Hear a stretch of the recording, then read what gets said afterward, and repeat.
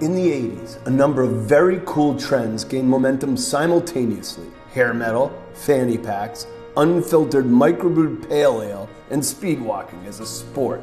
At Dogfish Head, we believe the past is the future, and we invite you to head out and find a four pack of our delicious Walking Run throwback Maine style pale ale while supplies last. Visit dogfish.com backslash fishfinder to find it near you.